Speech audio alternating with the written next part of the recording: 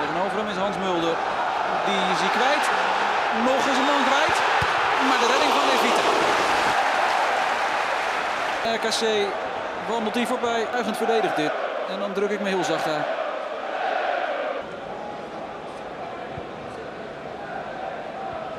Weg.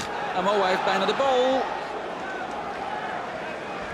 Tot opluchting van heel Waalwijk heeft Levita hem uiteindelijk. En zo gaat het steeds net goed nog voor RKC. Leonardo. Goed geschoten. En ook een knappe redding van Levita. De man voor wie eh, RKC moet oppassen, maar waarop RKC voorlopig ook echt geen antwoord heeft.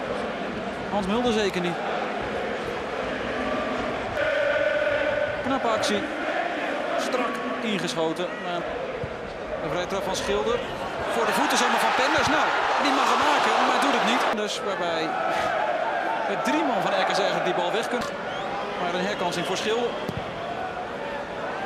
Levita met één hand. Het is een foute vesting. Te gaan voor een uh, tweede. En dat toch bijna doet. Maar Levita redt.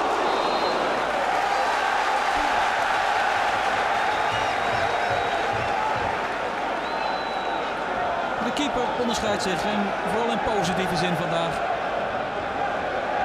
Wevers geblesseerd. Wat last van de lies. Daardoor voor het eerst een kans voor Levita. Die is dan snel genomen. En intussen ook alweer gepakt door Levita, zeg. Ja. Hij moet opnieuw. Maar hoe de doelman die bal nog even pakt van de Graaf. Het is er wat nergens om gaat. Maar Amoa. En dit is dan wel een goede aanval. De Graaf, maar Levita. Iemand die zich nog wel staande weet te houden. Natuurlijk net ook al een fout maakte, maar... Laten we de doelman er maar een positieve uitzondering gaat. Gezien. Levita blijft toch maar staan. En dus heeft Leurling de bal. En oh, hij schiet er bijna zelf in de kruising. Verrassend geschoten. Maar Levita weer met een goede redding.